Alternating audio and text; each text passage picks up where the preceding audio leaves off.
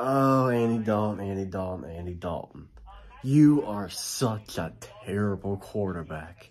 You failed tonight.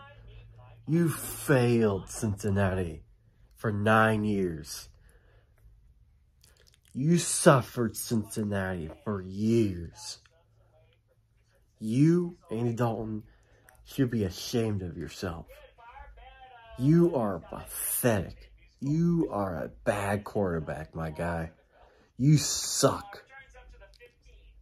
Anyway, it's 27 to 6. The Saints are getting their asses kicked.